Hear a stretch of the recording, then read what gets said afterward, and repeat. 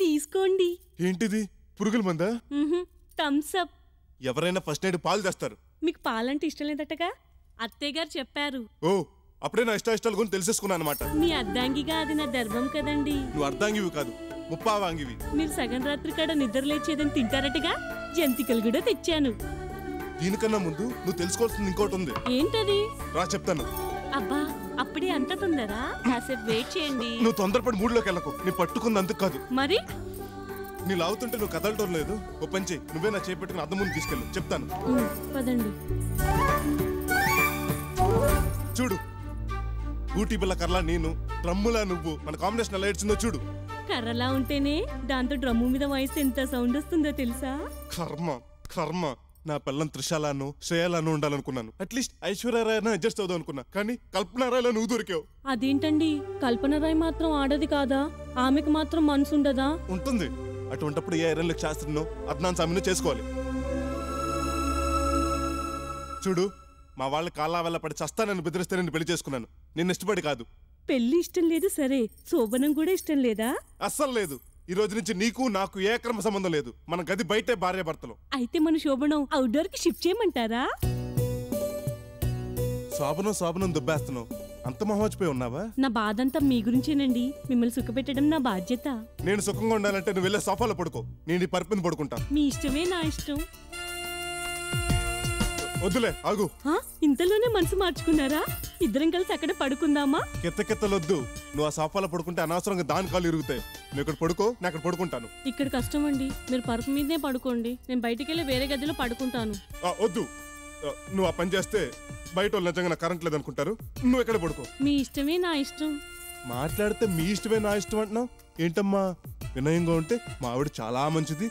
అనవసరంగా నేనే తను కష్టపడుతున్నానని జాలిపడిపోయి కమిట్ అయిపోతానన్నా. మీరు నా మెళ్ళలో మూడు ముళ్ళు వేసినప్పుడే కమిట్ అయిపోయారండి. మరి అదే కితకితలంటే.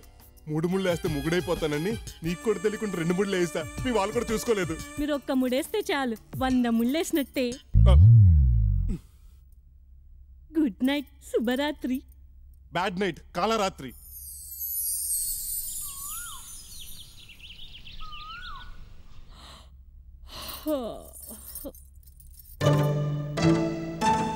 అదేంటండి? డ్యూటీ దిగిన లారీ డ్రైవర్లు అలా ఉన్నారు. రాత్రంతా నిద్రపోలేదా? సింహం బోన్లో స్లీపింగా నువ్వు అర్ధరాత్రి ఏ బాత్రూమ్కి వెళ్తూ మీద పడతావని తెల్లారులు జంతుకులు తింటూ మేలు కూర్చున్నాను. సౌందర్య? వస్తున్నా. అగు అయ్యో వద్దండి. పొద్దుటే ముద్దేంటి? నీ ముద్దు మొహానికి ముద్దు కూడానా? నీ వచ్చింది అందుకు కాదు? ఏంటండి ఇదంతా? ఇలాంటి టెన్త్ ఫెయిల్ అయిన మట్టి బొర్రలకి ఇలాంటి మెగా ఐడియాలు అర్థం అవ్వవు. ఇప్పుడే డోర్ ఆ, ఇదిగో తలుపు తీగనక సిగ్గుపడు. అలాగే. సౌందర్య?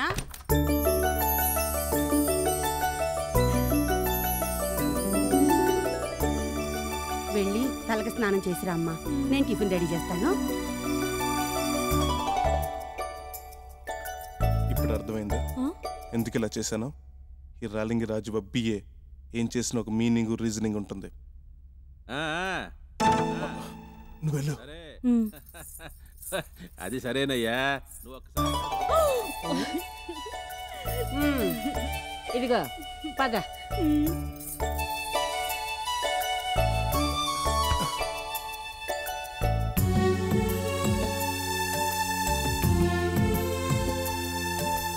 ఒరే లేవరా?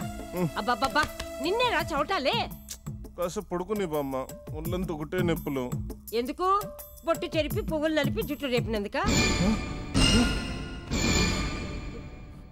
నువ్వు ఎప్పుడు చూసావే? కంపెనీస్ కెమెరాలు అవి పెట్టి లైవ్ చూసావా? కోరి తెలివి తక్కువ దద్దమ్మా. తెలుగు సినిమాల్లో శోభనాల సీన్లు చూసిన తెలివితేటలు నీవి. కొన్ని వేల మందికి ప్రాక్టికల్గా శోభనాలు జరిపించిన ఎక్స్పీరియన్స్ నాది. ఈ ట్రిక్కులన్నీ నా దగ్గర పనిచేయవు ముందు ఆ పశ్చిమం కట్టుకొని రెడీ అవ్వు. దేనికి? దాని విడాకులు ఇచ్చి మన దారి మనం పోదామా? మా అన్నం కాదు. నువ్వు నీ పెళ్ళం పోవాలి. ఎక్కడికి? హనీమూన్కి హనీమూనా? దాన్ని తీసుకున్నా. ఛీ! హనీమూన్కి వెళ్ళాల్సింది భార్య భర్తలే. అలా అయితే అమ్మని నాన్నని వెళ్ళమని చెప్పే చెప్పు దగ్గుద్ది మీ ఇద్దరే వెళ్ళండి. అయితే టెర్రరిస్ట్ వాళ్ళు ఉంటారు దాని కాశ్మీర్ వెళ్ళమను. నీ ఊటీ వెళ్తా. వెధ వేషాలు వేయకుండా రెడీ అవ్వు. కార్ రెడీగా ఉంది. ఇంకో నాలుగు రోజులు వెళ్ళొచ్చు కదా డాడీ. రేపు రిజిస్ట్రేషన్ ఉందిరా. మళ్ళీ ఓ నెలాగి వస్తాంగా? అల్లుడు గారేరి స్నానం చేస్తున్నట్టున్నారు. ఓహో. నూరేళ్ళు.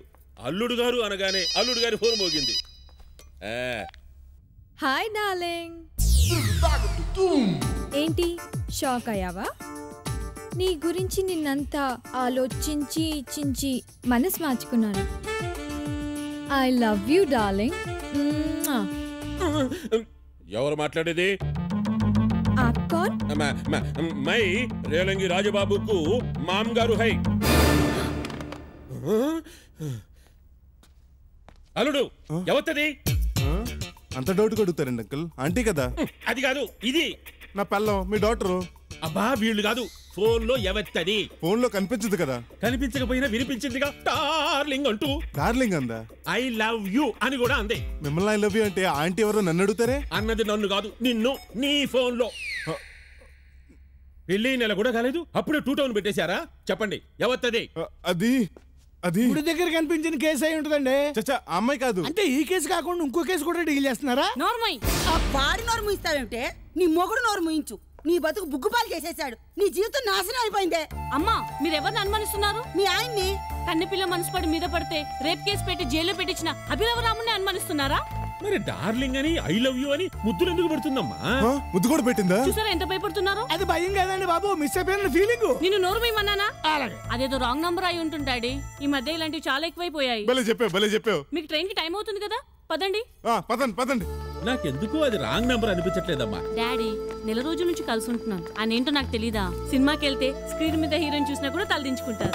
అవును అంకుల్ మన హిందీ సినిమాలో సుష్మిత సేను రీమా సేను స్విమ్మింగ్ డ్రెస్తో పాట పాడినా కూడా కళ్ళు మూసుకుని వింటూనే కూర్చున్నాను తప్ప వాళ్ళ వంక తలెత్తి కూడా చూడలేదండి. అలాగైతే పర్వాలేదు. కానీ తల దించుకునే పని మాత్రం చేయకండి. అలాంటిది ఏం జరగదు. మీరు హ్యాపీగా వెళ్ళారండి. చూడండి అల్లుడు గారు చిన్నప్పటి నుంచి అమ్మాయిని ఎంతో గారంగా పెంచాం. ఇప్పటి వరకు అది కన్నీళ్ళు పెట్టుకున్నారు కదా. దానికి అంత ఫీల్ అయిపోతారు ఎందుకు? ఇక నుంచి రోజు నేను నడిపిస్తానుగా సంతోషం. ఏమిటి? ఏడిపిస్తారా? మీరేగా? కన్నీళ్ళు పెట్టారు కదన్నారు? నేను అన్నది ఏడిపించకుండా చూసుకోమని. అలాగా? అయితే పువ్వులో పెట్టి చూసు ఇంకా పదండి లేట్ అవుతుంది. నువ్వు దగ్గరుండి అత్తయ్య గారిని మావయ్య గారిని ట్రైన్ ఎక్కించరా. వీళ్ళ మీద ట్రైన్ ఎక్కించమంటారా? ట్రైన్లో ఏళ్ళు ఎక్కించమంటారా? ఆ, బాబు. ఏ బొండో. ఏంట్రా బక్కోడా ఏంటి? రానా? అవునరా. నీ అమ్మాయి ఎడంకాలు బూట్తో కొడతా. నీ అబ్బా కుడికాలు చెప్పుతో కొడతా. నేను నీ మొగుడిని ఆ పోస్ట్కి రిజైన్ చేసేస్తావు కదరా. ఇప్పుడు నువ్వు ఆపద్ధర్మ భర్తవి. విత్డ్రా చేసుకుంటానంటే చెప్పు. ఏంటండి? ఏవండి అని పూజిస్తా. నువ్వు ఇచ్చే తొక్కల గౌరవం గురించి నీ మొగుడుగా ఉండలేను. కావాలంటే చిన్న సబ్సిడీ ఇచ్చి ఫ్రెండ్ లా ఉంటాను. నీ ఇష్టం రా. అదిగో మళ్ళీ రా అంటావు. ఫ్రెండ్ని అలాగే పిలుస్తారా సన్నాసి? ఇదిగో ఛాన్స్ దొరికింది కదా అని కడుపులో దాచుకున్నదంతా కక్కకో. నీకోసం కుర్రని తీసుకొచ్చాను. పార్టీ మంచిదేనా? నేనేదో బ్రోకర్ పని చేస్తున్నట్టు అడుగుతావే?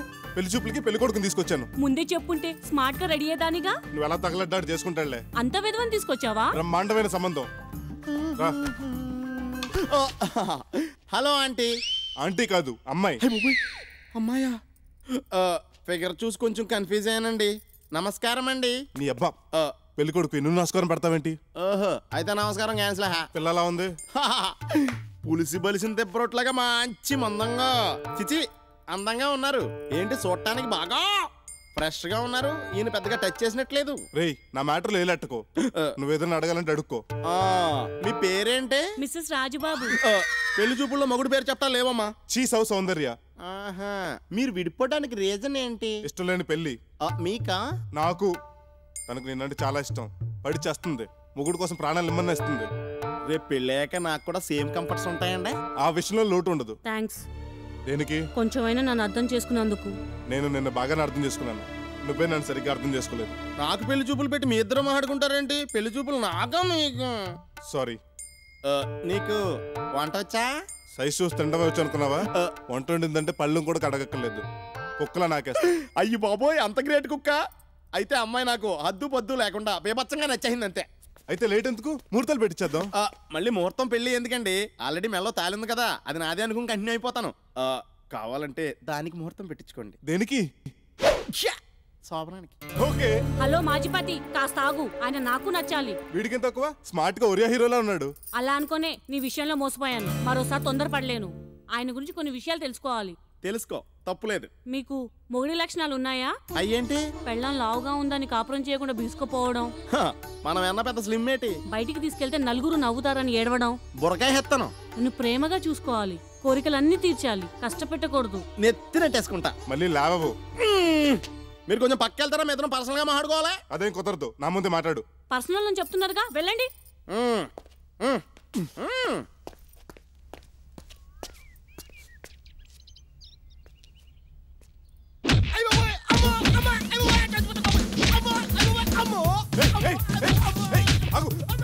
కాపీ ముగ్గురు ఎప్పుడే కొడతావేంటి? తాళి కట్టే కదా నెగిటివ్ రేట్స్ వస్తాయి. సంబంధం తెమ్మంటే ఇలా చిల్లర వెళ్ళని తెస్తారా? చిల్లరోడు కాకపోతే నీ పర్సనాలిటీ విక్రమ్ నాగార్జున అప్రచిత్ర విక్రమ్ వస్తారేంటి? అంత ఆశ ఉంటే నిన్నది చేసుకుంటాను? మరి ఎందుకు కొడతామండి బెడ్రూమ్లో మీ ఆయన ఎలా ఉండేవాడో అని అడిగాడు. పెద్ద టచ్ లేదు. ఆయన నేను సపరేట్గా పడుకుంటామన్నా ఏ నీ మొగుడికి మొగతనం లేదా? పాయింట్ ఫైవ్ గాడా అని అడిగాడు.